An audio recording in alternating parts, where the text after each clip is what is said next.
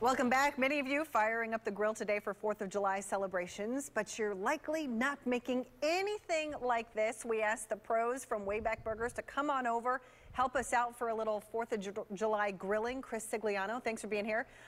What you got? Well, first off, say thanks for bringing us out today. Um, I don't know if everybody knows about Wayback Burgers. Everything is made fresh to order. Nothing sitting in the freezer frozen. The burgers, everything is fresh, as you can see here, our ingredients. Wow. And our milkshakes are all hand dipped. That's how we start everything. Okay. Um, every month we have a different burger of the month and a different shake of the month. This month's burger is called our All American Burger, which is right over here. It's got barbecue sauce, sauteed onions, bacon, fried jalapenos, a horseradish cheddar cheese, and of course our two never frozen patties. And our shake of the month is right over here. It's a strawberry shake with Pop Rocks on it.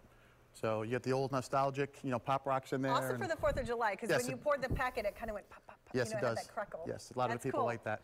All-American burger, okay. Then also what we have here, we have a few of our other items, signature items in the store. We have our barbecue chips, house-made chips, and our plain uh, chips. We have our regular Wayback Classic, which is two patties, and our way is ketchup, pickles, mustard, onion, lettuce, and tomato, but you can make any way you want. We have our cheesy burger, which is kind of like my way to describe it is kind of like a grilled cheese sandwich with a cheeseburger inside of it. Oh, yum. And the really good. buns grilled on both sides. Correct. And it has cheese on it. And then our big, big one is our triple, Okay. triple burger. Who can eat this? Well, we have a lot of people that do come in and get it. Um, we've had like the football team from Newsome High School come in. We had a girl came in with them, and she actually finished about a minute and 30 seconds or so. And that she- the, that's a record here. that's a record in our store, yes. And she was if 120 pounds soaking wet, if that. You know, so Wow. We have a challenge actually. Uh, our anniversary is coming up, two anniversary next month, and we'll be doing an in-house one. And then coming up Is it eating that? Yes, ma'am, it is. And then we're going to be giving away an iPod for that. So someone's trying to break that girl's record. Yeah, they're always trying. They're trying, and so far it's been two years, uh, actually about a year and a half, and no one's done it yet. Wow, awesome. Okay, and tell me more about your milkshakes. Oh, we have, uh, like I said, all milkshakes are hand dipped, and they um, they're made in the store. We have the um, hand up.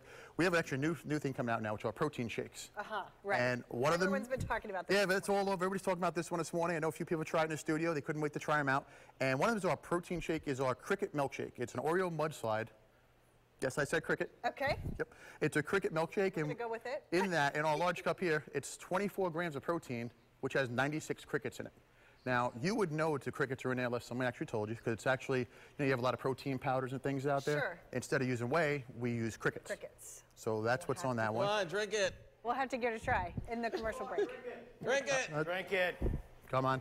Drink it. There you You guys are go. mean. She's faking it. Mm. She drank it. Crickety. It's delicious. I think it's just in my head. That's what it is. John Thomas. Okay. Thank you so much, Chris. Thanks so much for joining Anytime, us here guys. today. Uh, all these recipes, you can find them on our website, uh, abcactionnews.com. Uh, Bill, over to you.